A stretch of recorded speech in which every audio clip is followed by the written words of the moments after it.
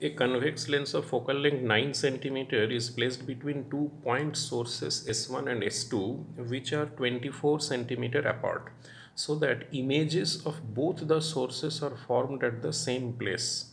Find the distance between the lens. Let us take that this S1 and this S2 are the two point source of light and we place the convex lens whose focal length is 9 centimeter at them at this particular place. Now this is 24 centimeter and we have to find out the distance between the lens and s1 so for the time being let us say the distance between the lens and s1 be x. So this is 24 minus x from s2 now if we can arrange in such a way that x is less than the focal length that is x is less than 9 centimeter then what will happen that the image of s1 will be formed at the same place like this. If somebody is seeing from this side the person will feel that this will be the image. And the image of s2 will be also after refraction through the lens formed at i so that there is a common image of S1 and S2 both formed at the same position. So let's check what is this image distance for the first S1.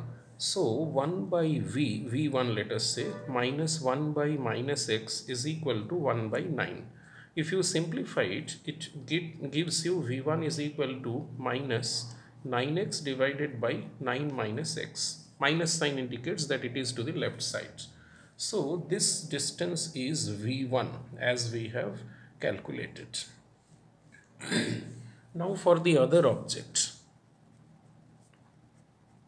For the other object which is S2, the image distance will be this distance. That is uh, object distance is this and the image distance will be same as that I have calculated you can take that this is your left side, this is your right side by the proper sign convention. So 1 by v, v will be 9x by 9 minus x minus 1 by u. u will be negative of 24 minus x is equal to 1 by f. Please be informed that I am taking this as the negative side, this as the positive side.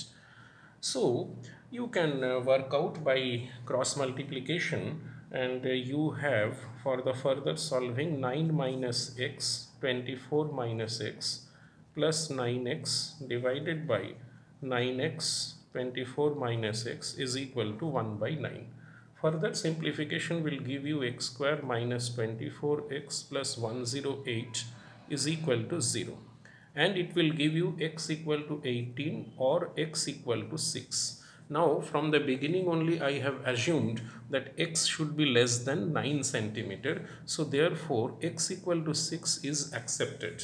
Hence the conclusion is the lens should be at 6 centimeter from S1.